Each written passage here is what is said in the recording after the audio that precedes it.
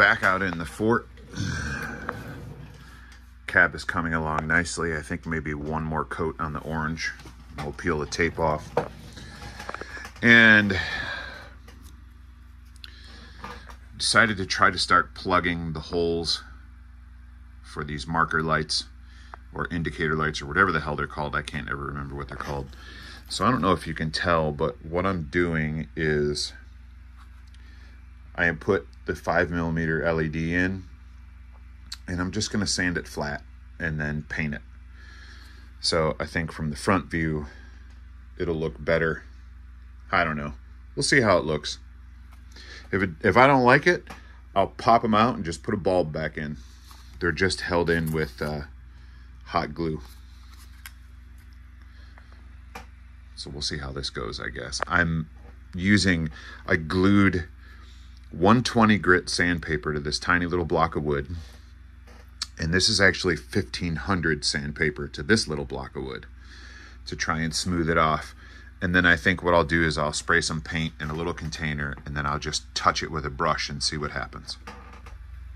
Incidentally, the tape is on here to protect the paint job in case the sandpaper touches the body somewhere when I'm sanding off the LEDs. All right, so sanded down the LEDs and, you know, in an effort to save the paint from being accidentally touched by sandpaper, I screwed up the paint in the orange and now I feel like I need to start over. Okay, I think I need to walk away from this for the moment. I'm not real happy with the not very crisp lines. I mean, the paint got so thick. I don't know. I'm about ready to throw in the towel on this damn project. In other news, this is going to the back burner. I am just not happy with how that turned out at all. so, the high nose is here. With a slight modification, I got it to fit perfectly to the chassis. Found the exact right screws, and I added another grab bar on the top. Other than that, I need to mark it for paint. Start painting it up.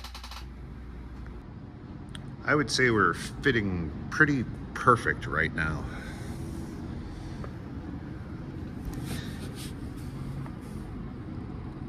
In all the photos I've seen, there is a little lip there between the hood and the cab, so I'm not, I tried to get it as straight as possible, but I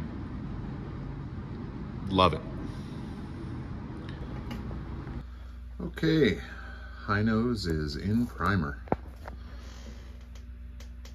I'm about to spray some color on.